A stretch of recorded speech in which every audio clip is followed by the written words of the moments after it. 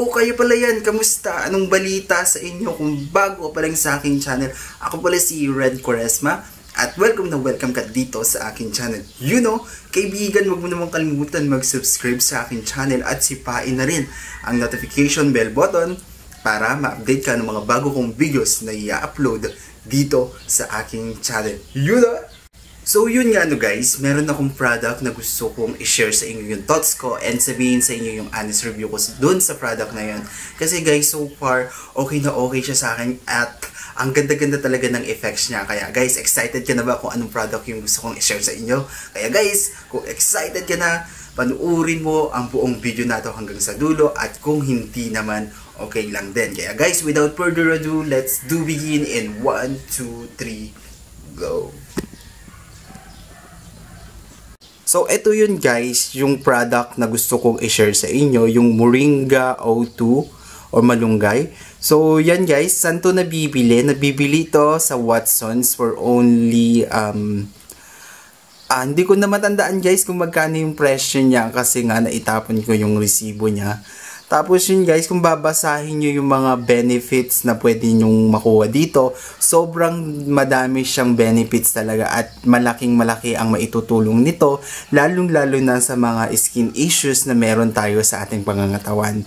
So yun, balik tayo sa pwesto ko kasi babasahin ko lahat yung mga uh, pwedeng uh, maitulong nito sa ating pangangatawan. Kaya guys, balik tayo doon sa pwesto ko. So, yan guys, yung laman ng box na pinakita ko sa inyo. Ganyan yung, uh, kanya, bottle. So, yun, sabihin ko sa inyo guys, yung mga pwedeng uh, benefits na makukuha dito sa Moringa, O2, malunggay. So, yun ano guys, babasahin ko yung mga benefits na pwedeng makatulong sa ating mga pinoproblema sa ating pangatawan. So, una dito guys, nakalagay yung hair and scalp So, ano yung mga benefits na pwedeng makatulong sa ating buhok at sa ating anit?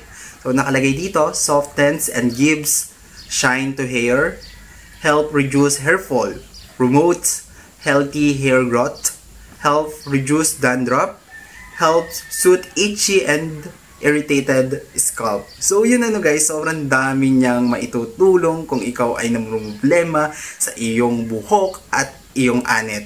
Kaya guys, uh, kung ako sa iyo guys, i-try mo na tong product na to kasi uh, mabilis siyang maubos dun sa Watson kasi nung pumunta ako dun guys, isa na lang talaga to. Tapos yun, nagka-interest ako kaya binili ko na din siya, sayang naman din, di ba? Kasi nag-iisa na lang siya din. Kaya guys, kung uh, gusto nyong uh, guminhawa ang inyong buhok at ang inyong anet, gamitin na to. Ulitin ko guys yung uh, benefits na pwedeng makatulong sa buhok natin at sa anet.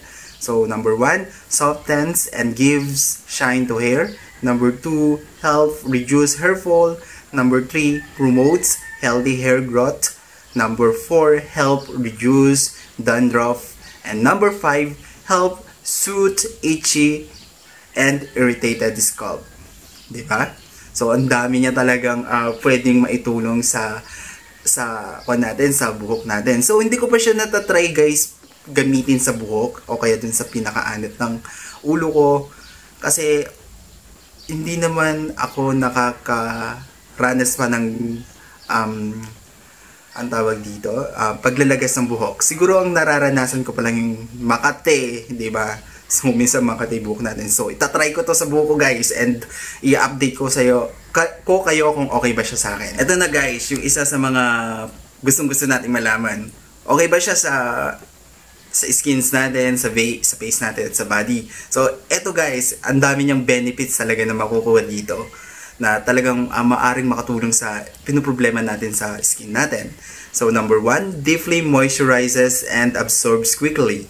Number two, helps control very dry and rough skin condition on skin, o di ba? Lips, hands, cuticles, and crack heels. Number 3, helps control pimples. O, yun yung pinaproblema ko guys. Yung pimples ko, meron na naman akong pimples dito. So, blackheads, whiteheads, and acne. So, yun. Kung pinaproblema mo yung pimples mo, yung blackheads mo, yung whiteheads mo, at yung acne mo guys, eto na yung sagot guys. Moringa O2 malunggay. Kaya guys, uh, hanapin nyo na to sa Watson's or sa Mercury Drugs. Uh, murang-mura lang siya guys kumpara sa mga ibang uh, beauty product na uh, ginagamit nyo para lang ma, ma ang tawag dito para lang mawala yung mga skin issues na meron tayo. And yun nga guys, ang nagustuhan ko dito ay ang laki talaga ng naitutulong niya sa skin ko kasi nga ako 'di ba mabilis uh, mabilis ako magka-pimples kasi nga sobrang uh, yung skin type ko is oily kaya prone ako masyado sa mga uh, pimples kaya maraming nagsusulputan na nakabumps minsan sa mukha ko but nung tinry ko to guys yung meron akong pimples pero ngayon nagkuha na siya nag, nagmi-minimize na siya pero parang hindi halatang nag-minimize kasi sa camera yata So, yun.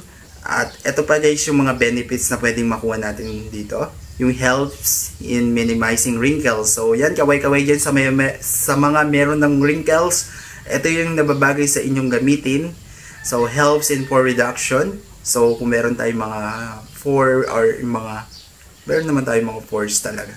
So, para ma-minimize yung mga large pores natin. So, gamitin nyo to guys helps reduce stretch marks and minor scars. So, yun nga no guys, uh, yung mga stretch marks natin or mga minor scars, pwedeng gamitin tong moringa na to.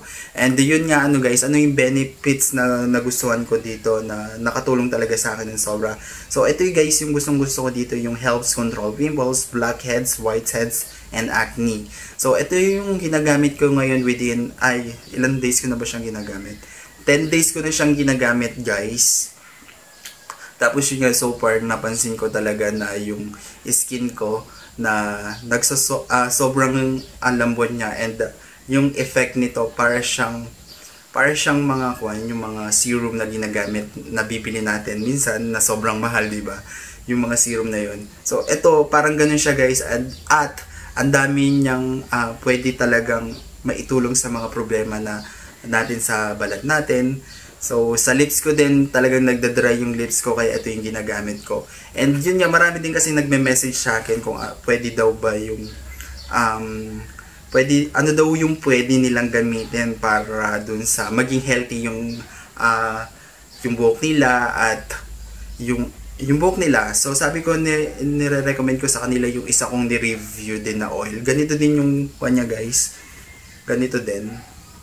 Ganito din siya Kaso iba yung pangalan, olive oil siya, pero yung olive oil na yon marami ding benefits talagang makukuha at sa Watsons din siya mabibili. Naubos ko na kasi siya guys kasi yung olive oil na yung ginagamit ko siya sa buko and alam niyo naman yung buko sobrang kapal at sobrang healthy niya, di ba? Yun yung ginagamit ko yung olive oil. And eto nga, try nyo din guys, tatry ko din ko to sa buhok ko kung okay siya kasi madalas mga yung buhok ko dahil siguro sa wax na ginagamit ko So, yun. Sobrang katikayan ng wax minsan, di ba? So, yun lang guys yung quick review ko dito sa product na to at kung meron kayong mga katanungan about this product, comment down below at sasagutin ko po kayo isa-isa. So, see you sa susunod na i-review kong product. So, magmumukbang tayo ngayon guys. So, hinihintay ko lang maluto yung kanin ko. Tapos, i-video ko din yung mukbang ko na yan kasi uh, walang pasok sayang yung panahon. So, ito lang yung panahon talaga na nakakagawa ako ng mga uh, vlogs or mukbang videos or kung ano-anong mga videos na pwede kong i-upload dito sa aking channel. So, yun!